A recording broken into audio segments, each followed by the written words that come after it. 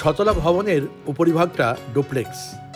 এই অংশের উপরেই সুন্দর এক ছাদ কৃষি পরিষ্কার, পরিচ্ছন্ন এক প্রাঙ্গণ। গাছগাছালির সংখ্যা খুব বেশি নয়। দুই স্তর ব্যাপী কৃষিক্ষেত্র এখানে।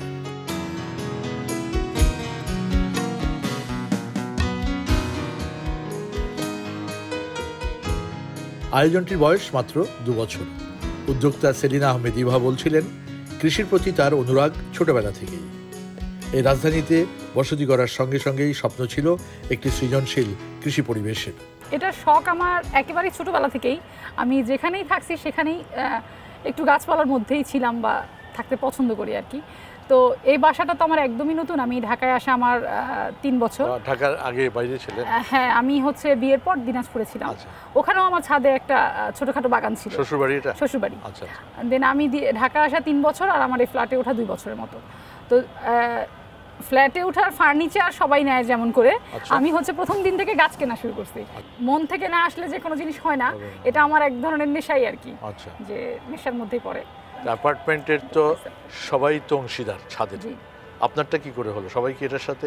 আমি হচ্ছে আমাদের একটা কমন ছাদও আছে আচ্ছা। যেটা সবাই ইউজ করে। আর এই ছাদটা যে ল্যান্ড ওনার উনি তার নিজের ইউজের জন্য এই ডুপ্লেক্স সহ এটা উনি মেক আচ্ছা করছিলেন। আচ্ছা আচ্ছা। তো উনি যে কোনোতে হোক যে উনি ওটা সেল করছেন এবং আমরা হচ্ছে এটা পুরোটাই এই ছাদ কৃষি মাথায় রেখেই এই দুইটা ছাদ আমার কেনা আর কি। যে আমি। হচ্ছে ছাদ কৃষিটা কন্টিনিউ করব। আচ্ছা আচ্ছা আচ্ছা। আর যখন যেখানে যাই এমনকি আমি যদি হসপিটালেও যাই। তো আমি দেখি যে কোনো গাছে ডাল ভাঙে আনে লাগাইলে যদি ডাল হয়। এরকম একটা ব্যাপার এটা কি খুব নেশা। আপনার এই নেশাটা কি করে আসলো? এটা কি আপনার বাবা মা বা অন্য কীভাবে আপনি ফ্যামিলির তো কিছু ব্যাপার থাকেই যে তারা পছন্দ করে তাদের। আমাদের ইন্সপায়ার তো আপনি এটা তো, এটা আসলে আপনি হ্যাঁ। সামনে আছেন বা এরকম বলার তো কিছু নেই। ভাইয়া আমি মাটিও মানুষের ছোটবেলা থেকে যখন আমাদের বিটিভি ছিল আচ্ছা। আমি প্রত্যেকটা প্রোগ্রাম আপনার দেখতাম ম্যাক্সিমাম থেকে ম্যাক্সিমাম যেহেতু আমার একটু এগুলো বিষয়ে আগ্রহ এবং আমরা সে- কিছুদিন আগে আমি আমার হাজব্যান্ড সহ বসে একটা প্রোগ্রাম দেখতেছিলাম। আমি খুব ইন্সপায়ার হই ভাইয়া। আচ্ছা। আর এমনি স্বল্প জ্ঞান এটা বিষয়ে তো আমার তেমন কোনো পড়াশোনা নাই যে কৃষির বিষয়ে। আমি বিভিন্ন গ্রুপ এবং আপনার পেজ সব পেজের থেকে যেটা যেটা বুঝি যে এই ওষুধ এভাবে মেডিসিন এভাবে করতে হবে সেভাবে নিজের মতো করেই করি।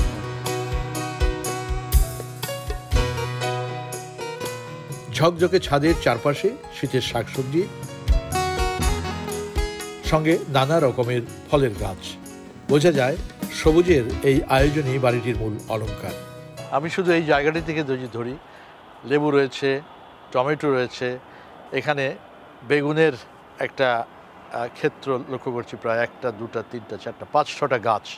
এর ভেতরে যে সংখ্যক বেগুন আসবে অন্তত সপ্তাহে দু চার দিন তো এখান থেকেই, এদিকে তো টমেটো, প্রচুর টমেটোর গাছ রোপণ করা হয়েছে।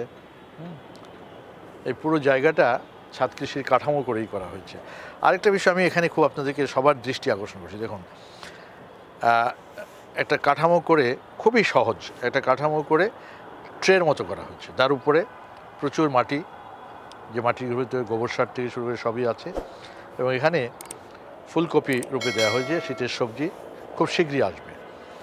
এদিকে রয়েছে আপনার পালং শাক, ওই পাশটা নিশ্চয়ই কলমি।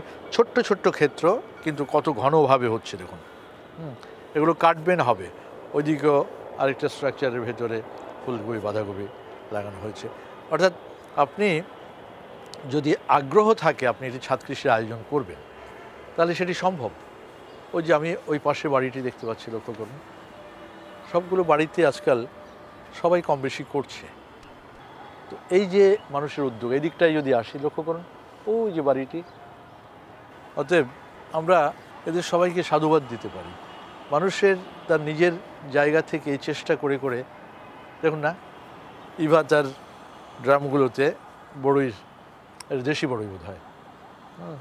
আজকাল টক বড়ই, দেশি বড়ির খুব কদর বাড়ছে, আবার সেই ফিরে আসছে আমাদের দেশি বড়ইগুলো এখানে সফেদা, কলা, লাউ, দেখুন এই যে জুট ব্যাগগুলো হ্যাঁ? এগুলো আগে আমরা বিদেশে দেখতাম।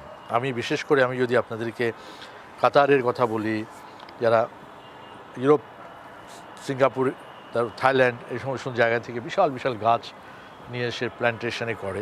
একটা ছোট্ট মাচা করে দেখুন, লাউ লাগিয়ে দিয়ে উপরে ঝুলে গেছে। এই ক্যারেটগুলোর কথা বলি। লক্ষ্য করুন, এগুলো শুরু হয়েছিল আমাদের কৃষি পণ্য পরিবহনের জন্যে হ্যাঁ? এখন এর ডুয়েল ব্যবহার শুরু হয়েছে। এখানের মধ্যে অনেকে এই ক্যারেটগুলো ব্যবহার করে এর ভেতরে ছাদ কৃষির আয়োজন হচ্ছে এই যে টবগুলো, এগুলো নানান ধরনের আকারের, কারণ বিষয়টা হচ্ছে ছাদ কৃষিকে মাথায় রেখেই কিছু কিছু ঝুলিয়ে দেওয়া যায়। ওই যে যেমন এটা সব কিছু মিলে একটা বসবার জায়গা। এই প্রাঙ্গণ বা এই উঠোনের মতো, আমি বলব ডুপ্লেক্সের সামনে যে উঠোনটা, সেটা পারিবারিক একটা নানান ধরনের অনুষ্ঠানের আয়োজনের জন্য ব্যবহার করা যেতে পারে। সব কিছু অনেকেই বলবেন যে এটা বড় লোকদের কাজ। হ্যাঁ আমাদের সমাজের ভেতরে যারা ধনী, তাদের শখ করে তারা অনেক কিছুই করেন। যার প্রয়োজনে আছে, সে করে। তার তার নিজস্ব অবস্থান থেকে তার মতো করে সে করে। এটা কোনো দিকটাই দোষের কিছু না। ওই যে আরেকটা দেখেন। বাড়ি হিসেবে ছাদ কৃষিটা ছোট। পুরোটাই হচ্ছে একটা বিশাল অ্যাপার্টমেন্ট কিন্তু অ্যাপার্টমেন্টের পুরোটাকে সবুজ করা যেতে পারত। সবার যদি এর মধ্যে অংশগ্রহণ সহযোগিতা থাকে এখানে বাসার পরিত্যক্ত আবর্জনা আর ময়লা দিয়ে তৈরি হচ্ছে জৈব সার। ফসল উৎপাদনে এসব জৈব সার এবং জৈব বালাই দমন ব্যবহার করেন তিনি। ফসলের শুদ্ধতা রক্ষায় শতভাগ চেষ্টা করছেন। সবকিছুতেই জৈব আমি ব্যবহার আচ্ছা, করি। কেমিক্যাল সার ব্যবহার করেন না পুরোটাই এটা হচ্ছে বাসার যে আমার সবজির যে এতে থাকে ওটা ওই যে মানে ওখানে আছে। পাখির ঘরের যে ওয়েস্টগুলো হ্যাঁ ওয়েস্টগুলো আমি এখানে পানির মধ্যে পোকামাকড় লাগলে কি করেন? আমি ভাইয়া দুইটা কাজ এমনি করি। এটা হচ্ছে সপ্তাহে দুদিন করি। একদিন একটা হচ্ছে করি যে হলুদ আমি হচ্ছে পানিতে ভিজিয়ে রাখি। সারাদিন রাখার পর সন্ধ্যার দিকে স্প্রে করি। এটা আমি সাত দিনে একবার বা দশ দিনে একবার দিই। আর যে নিম পাতা আমার নিমের গাছ আছে আমি ওটাকে বেটে তেল দিয়ে সেই তেলটা পানিতে মিক্সড করে ওই যে হ্যাঁ ওটা ভাইয়া এগুলো সব আমার এমনি জানা জানাই নিজের। এগুলো ফেসবুক থেকে গ্রুপ থেকে আপনারা গ্রুপ থেকে কালেক্ট ইয়ে করা। হ্যাঁ। আর যেটা হয় যে একদমই বুঝতে পারি না গাছ হয়তো কোনটা নষ্ট হয়েছে সেটা নার্সারিতে নিয়ে যায় ভাইয়াদেরকে বলি যে এটা কি করা যাবে। ছাদ কৃষি থেকে শুধু নিরাপদ খাদ্য উৎপাদনই উদ্যোক্তার লক্ষ্য নয়। এই নগরের দূষণ দূরীকরণেও সাধ্যমতো ভূমিকা রাখার ইচ্ছে তার। আমি যেহেতু দিনাজপুরে ছিলাম আমি বিষয়টা অনেক বেশি ফিল করতে পারি যে ওখানে তো এত ঘনবসতি না এত বিল্ডিংও না। সে কারণে আপনি অক্টোবরের শেষে বা নভেম্বরের ফার্স্ট থেকে প্রচণ্ড ঠান্ডা পড়ে। যে জিনিসটা কিন্তু আমি ঢাকায় এসে কখনোই এটা নাই একেবারেই নাই। এটার মেন কারণই তো এটাই। যে একই দেশের মধ্যে যে ওয়েদারের যে ডিফারেন্সটা আমরা দেখি সেটার একটা বড় কারণই হচ্ছে এই গাছপালাটা এখানে কম। তবে এটাও ঠিক যে এখন কিন্তু অনেকে এই বিষয়ে আগ্রহী খুব। আচ্ছা। অনেকে কিন্তু করছেন করছে কিন্তু আরও তো হওয়া দরকার। এখানে কতগুলি ভবন? এটার দুটো দু চারটা ভবনের ভিতরে বিচ্ছিন্ন কিছু প্রতিবন্ধকতা তো বাহিয়া আছেই। যারা যে বললেন অ্যাপার্টমেন্ট কেনে তারা কিন্তু কোনোভাবেই ছাদে গাছ অ্যালাউ করে না। আমার অনেক ফ্রেন্ডরা আছে যারা হচ্ছে রেন্টে থাকে। হ্যাঁ। আবার ইদানিংকালে অনেকে করছে। সেটা বাড়িওয়ালা যদি করে তাহলে হয়তো করে। হ্যাঁ, হ্যাঁ, হ্যাঁ। কিন্তু হয়তো অত শৌখিনতা নাই বা করে না। কিন্তু তারা ভাড়াটিয়াদেরকেও করতে দেয় না কিন্তু। এটাও কিন্তু আমি অনেককে দেখছি। ইভার এই চিন্তা চেতনাকে স্বাগত জানিয়েছেন গোটা পরিবার। শত ব্যস্ততার ফাঁকে গৃহকর্তাও মাঝে মধ্যে যুক্ত হন এই আয়োজনের সঙ্গে। সবচেয়ে বড় হচ্ছে যে এই যে আপনার মাটি ও মানুষের এই যে এই অনুষ্ঠানটি এটা মানুষকে খুব উদ্বৃত্ত করেছে। মানুষের আগ্রহ আমরা আমরা দিনাজপুর থাকতে আমি মানে গ্রামগঞ্জে বিভিন্ন জায়গায় দেখি যে আপনি যে এই যে আসল চিত্রগুলো বা মানুষের অজানা অনেক তথ্যগুলো যে মানুষের কাছে পৌঁছে দেন তাতে মানুষের দিনে দিনে এই যে একটি ছোট্ট জায়গায় যে একটা সুন্দর একটা বাগান করা যায় একটা কৃষি ইয়ে করা যায় আমাদের বাসায় আমরা নিয়মিত এই যে এই এই জায়গাতেই আমরা আমাদের শাক বিভিন্ন রকম শাক তারপর হচ্ছে টমেটো বিভিন্ন রকম সবজি আমরা কম বেশি মাসের ধরেন যে দশ পনেরো দিনই আমরা এই ছাদের ইয়ে থেকেই আমরা তো সেটা একদম পিওর ফ্রেশ পিওর ফ্রেশ একদম ইয়েতে। এবং আমরা বাজার থেকে নিয়ে আসা জিনিস এবং আমাদের এখান থেকে আমরা যেটা ইয়ে করি এটার মধ্যে ফার ডিফারেন্স আর কি। আমরা অনেক এনজয় করি।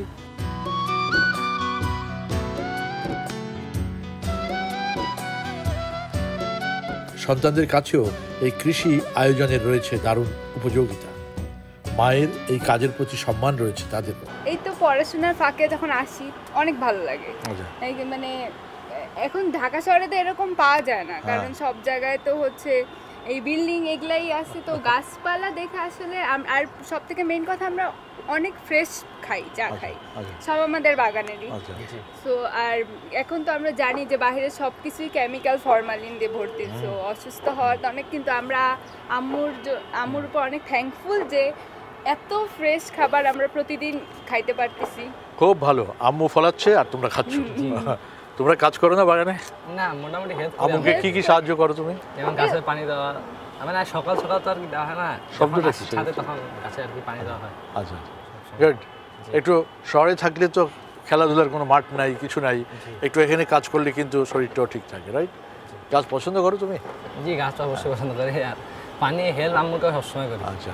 ছাদ হচ্ছে সব থেকে মেইন কথা এখানে এত কিছুর মাধ্যমে আমাদের যে অক্সিজেনটা আমরা পাচ্ছি গ্লোবাল ওয়ার্মিংয়ের কারণে হচ্ছে বায়ু দূষণ হচ্ছে অ্যান্ড কার্বন ডাইঅক্সাইডের পরিমাণ প্রচুর পরিমাণে বেড়ে যাচ্ছে, তার কারণে কিন্তু গাছপালা আমাদেরকে অনেকটা বেশি হেল্প করতেছে।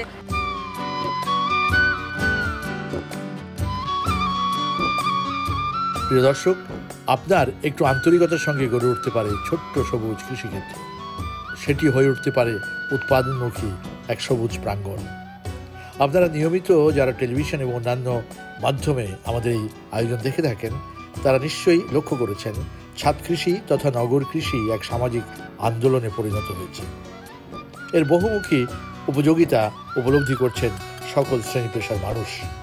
বিশ্বাস করি, সবার আন্তরিক উদ্যোগে সমন্বিতভাবে একদিন গোটা দেশের সব আবাসিক ভবনের উপরটা সবুজে ছেয়ে যাবে। নগর ঢেকে যাবে সবুজ ছায়ায়, এমন প্রত্যাশা আমাদের।